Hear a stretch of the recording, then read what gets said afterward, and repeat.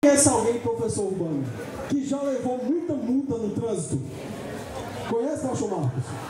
Os, os motoristas meio rápidos demais.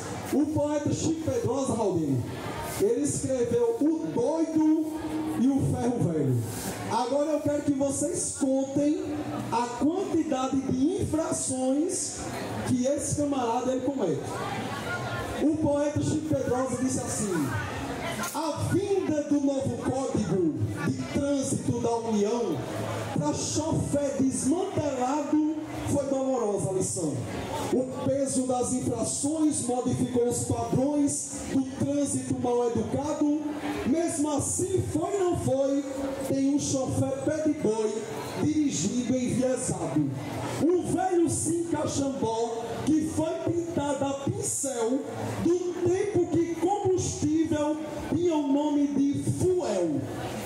Sem placa e sem sinaleira, passou em toda a carreira no posto rodoviário. O guarda telefonou e o próximo posto parou o motorista arbitrário. Veja bem, viu? Vinha no banco da frente uma mulher cochilando, com um menino no colo, outra criança mamando e o chofezão esquisito. O guarda disse, bonito. Ele disse, andador, prego. É tanto que eu não carrego triângulo nem extintor. Isso dizendo ao guarda. E o pneu de socorro está cheio ou está vazio? Não tem, pois nos quatro que está rodando eu confio. E quando esvazia, até na borracharia, vai na janta, embora esquente. E se a roda chega empenada, eu desentorno na porrada, monto o pneu na danada, fundo e vou em frente. E os retrovisores, aonde o senhor botou? Ah, seu guarda, o do meu lado uma carreta arrancou.